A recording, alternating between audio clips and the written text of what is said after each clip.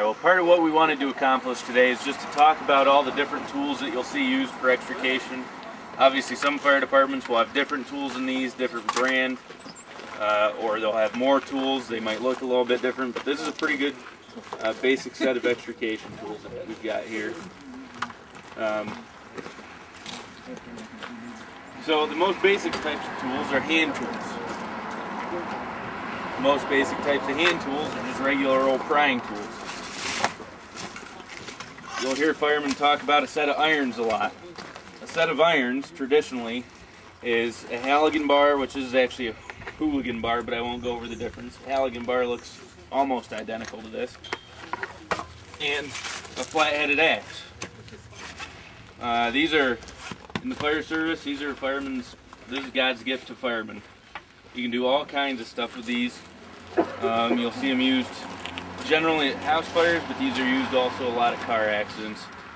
Uh, to gain access to the vehicle, Andrew talked about that a little bit ago. Um, and even you can you can even perform a lot of extrications just with this set of tools right here. You got a big long prying tool with plenty of leverage to pop open a door if you have to. Uh, some other hand tools are, I don't see them out here, but hacksaws. Almost every fire department carries hacksaws. You can take a whole roof off. It really sucks, but you can do a patient extrication with hacksaws if you have to. In fact, for my, Alex says it sucks, and it really does. For my, uh, for my very first vehicle extrication class, we were not allowed to use anything but hand tools. We had to completely take the roof off the vehicle and extricate a patient. Well, I was told not to get them. It's definitely possible, but uh, you're gonna use up a lot of energy doing it. Uh, they just have some other prying tools set out here. This is used, this here, most people I think just call it the, I don't know what you guys call it, but a lot of people call it a can opener. It's used to cut sheet metal.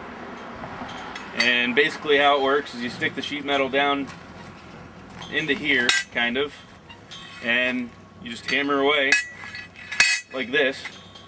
Uh, you can use that, you can cut the sheet metal off of a door uh, to gain access to the latching mechanism. All kinds of fun stuff for that.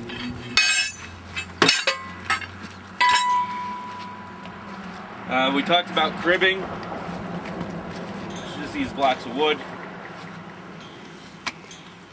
used to stabilize a vehicle. Uh, everybody probably knows what a sawzall is or a reciprocating saw.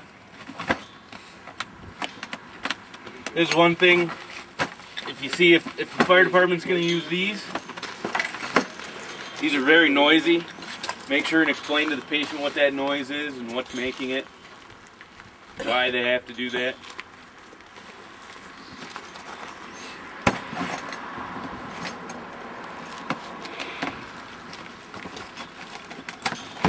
Alright, now we'll get to the fun stuff.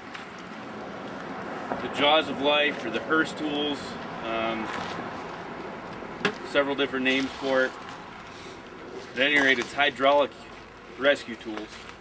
Uh, they run on, there's a hydraulic pump. They run on oil. Oil comes through these hoses. Creates a lot of force these tools over here. Alright, these are called the spreaders.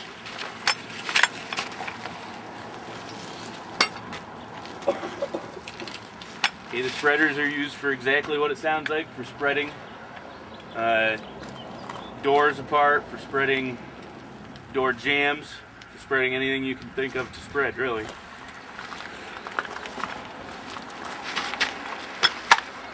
These are called the cutters, or O cutters. Some different ones are called C cutters. At any rate, they're hydraulic cutting tools. They're used for cutting things. Generally, you'll see those just used to cut the posts of the vehicle, the A post, B post, C post.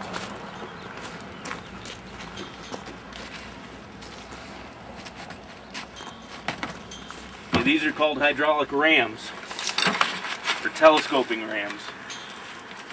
Uh, the longer the ram, the more spreading distance. They come in all different sizes and shapes. Um, we also have some air tools out here. or pneumatic tools as they're sometimes called.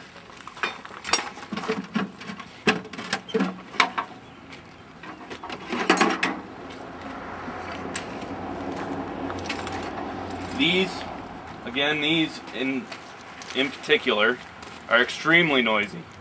The fire department's going to use these and you're going to be in the vehicle, you'll probably want to set it earplugs because these are very loud.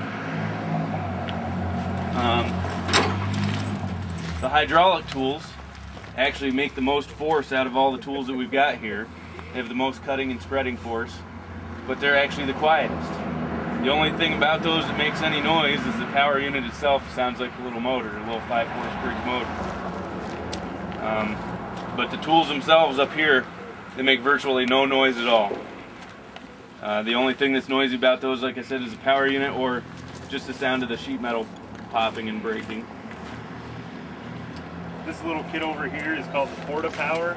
That's uh, actually a brand name, but nonetheless, it's called a Porta Power. These are also hydraulic tools, uh, but instead of being run by a motor, they're run by muscle.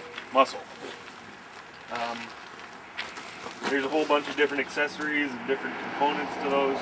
You can use those for, for cutting, for spreading, for displacing things and moving them, and uh, we won't get into all that because there's there's a lot you can do. Like I said, there's a lot of different little pieces there, and you can change things around and do a lot of different things with it. But you don't really need to, worry about that for this class.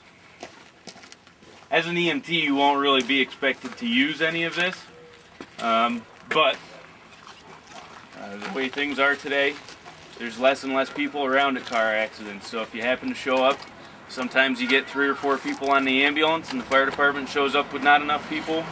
Uh, they might ask you to grab something for them, or uh, you know, so it's at least nice to know what the stuff is called when they go and put it away back on the rescue truck. We'll have them explain to you where stuff goes, because Melissa wanted that, and uh, we're gonna go ahead and have them cut one of these cars apart, just so we can, and I'll try and explain what's going on when they're doing it, um, because like I said, communicating with the patient, the more you can tell them about what you're doing and why you're doing it, the, the calmer they're gonna be. Um, so it's nice to at least know what this stuff is called, what it's used for generally, and uh, like I said, we'll go through the process of uh, cutting a car apart and extricating a patient,